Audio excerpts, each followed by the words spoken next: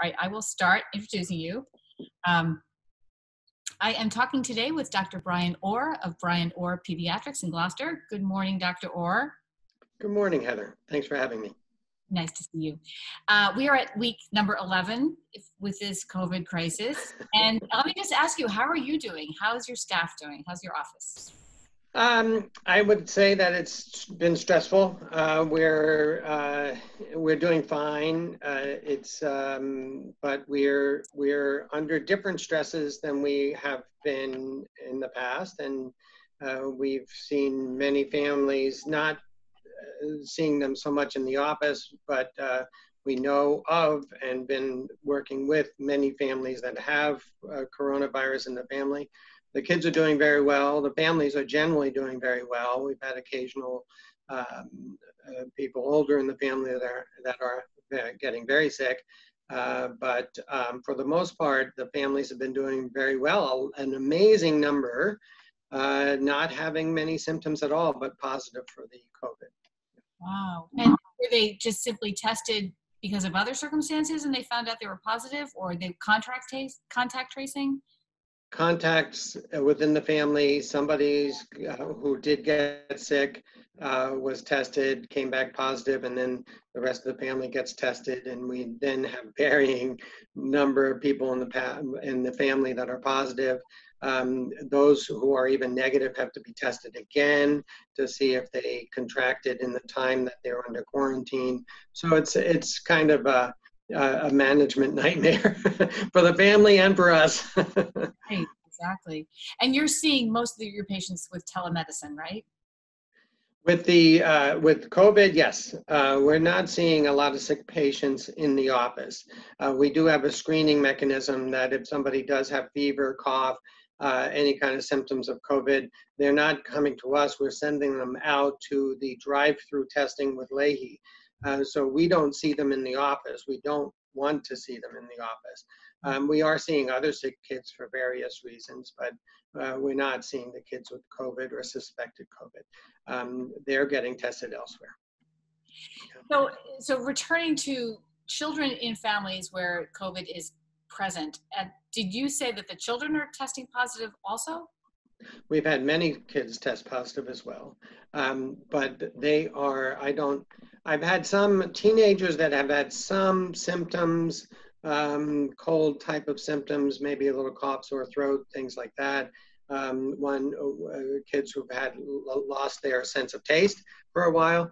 Um, but those were teenagers. The younger kids, I haven't had any younger child uh, with any symptoms at all. Uh, they are just cooking along and happy and fine. Yeah.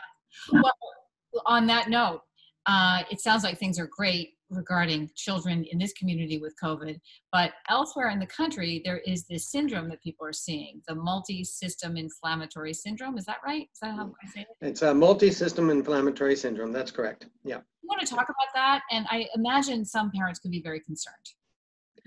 Yes, and it's it's uh, actually uh, can be quite serious issue. It's still very rare.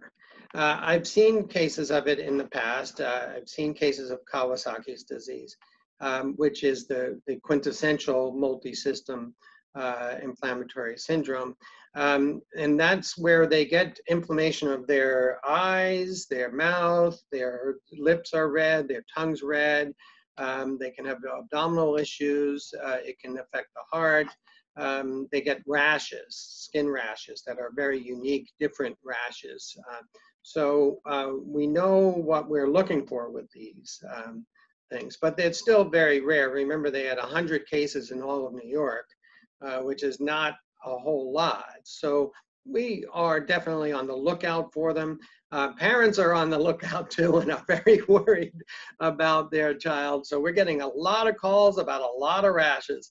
And this is the season where we see a lot of rashes, right? We get heat rashes just from with young kids just driving in the car in a hot day. Um, we have people reacting to the sun. We have people who are getting poison ivy, uh, bug bites. Uh, so we're this is the season where we come up with a lot of rashes anyway all of those are not COVID related and not the multi-system inflammatory syndrome.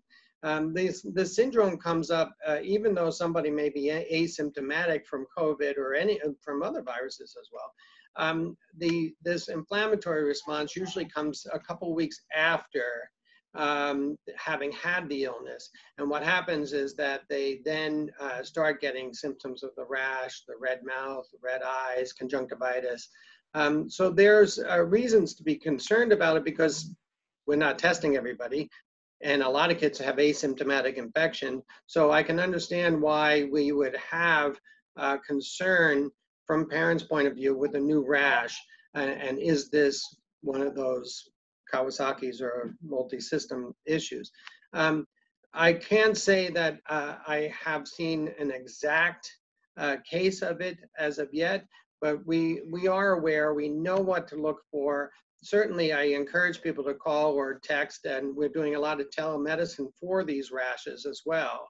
So we can we can do telemedicine. We can get uh, pictures from their uh, from their phones. We can do a uh, video conference uh, over it where we're seeing the rash.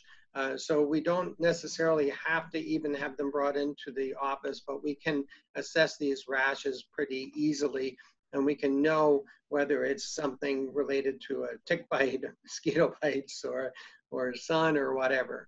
So, um, but I'm not terribly worried because it's still going to be a very rare event. Uh, so we shouldn't really be overall thinking that because we have a pandemic doesn't mean we're going to have an epidemic of the multi-system inflammatory syndrome. Right. I just, I'm not sure we made it totally clear that there is a suspicion that this multi-system inflammatory syndrome is associated with COVID and the antibodies created by COVID, right? That's right. Um, it is a known phenomenon that this this inflammatory syndrome comes on after viruses. It, it, it, almost all cases we've seen in the past, and the case I had many years ago, um, came after having had an illness. And it seems like uh, corona is uh, an illness that is stimulating this kind of response in children, that we've seen more cases of it. And it's been reported in multiple countries, in Italy, in, uh, in England, and, and in the United States, particularly New York. So it is something that we are um, thinking that is coming as a result of this pandemic. Uh, but it's not one of these things that because your child tested positive for corona, for example, or had an asymptomatic case, that they are going to get this response. It is still pretty rare um, uh, side effect of corona, and we'll we'll if we even see a case in Gloucester or in, in Cape Ann, uh, it would be one of very, very, very few. Right, right. Well, I really wanted to ch- check in with that because it's been in the news uh, quite a bit in the past week or so, I think. Um, anything else you want your families in the community to know about? Well, there was, I just wanted to uh, clarify too that um, there was a report yesterday from uh, a British journal um, about um, the effect on kids. And, and when you look at the effect of corona on, on people, it's a grand majority is the elderly, grand majority. And yes, the news is coming out with cases of the 40 year old or the 30 year old or people in their 20s getting sick. Yes, a lot of people can get sick from this. But mm. as you get into the younger ages, you're really talking about very few uh, people having significant symptoms very few not having uh, uh, something that they can just easily get over. Mm-hmm. So that's the majority. The grand majority of kids are going to do just fine with this. That is the fact of the matter. And these other things, the kids who really get sick with corona, maybe they have some uh, pre-existing conditions that might uh, make them at risk. And if you have one of those, whether it's uh, asthma or you have rheumatoid arthritis or autoimmune disease or you have diabetes, a child with diabetes, or you have a child who's had a transplant and is uh, on immunosuppressive um, uh, drugs. Though, you know, there are cases where you need to be concerned. But a grand majority of kids, healthy kids, are going to get through this just fine and are not going to get this inflammatory syndrome as well. Okay. Uh, um, could you give us your feelings about wearing masks? So I think that we should still social distance and I think we should wear masks. Um, I think we can uh, start expanding our little bubble that we're living in, and and eh, because I think uh, after 11 weeks, people are starving for social interaction, especially teenagers and young kids. Um, and so I think it's good to expand bubbles carefully with people you know and trust are well and healthy and have been uh, isolating themselves. I still think we should generally um, err on the side of caution in regards to our opening up. I think we should keep our distance on the beaches. If you're outside in open air, you probably don't need a mask if you're not around people. But if you're around people, we need to be wearing masks. I just ordered a whole new bunch. Um, so it's it. I think we're going to be doing this for a while. I think people have to keep in mind that just because we are over a peak in Massachusetts doesn't mean that this is going away. This is not going away. Even if we have a second peak during that time, in between those two peaks, we're still going to have cases of corona. This is not going to go down to zero. And the more that we contain and be smart about our exposures, the more we're going to contain this and delay even a second hump. So I think we still have to be very smart. Get outside, go for hikes, go to the beach, but keep some social distance, wear your mask, uh, let some kids socialize a little bit with close, uh, expanded bubble, uh, your expanded bubble of people. But um, but uh, let's not have wild um, uh, interactive parties where uh, nobody's wearing masks. I, I, think that's not very bright thing to do right now. All right, that is great advice for today, and I look forward to talking to you even next week.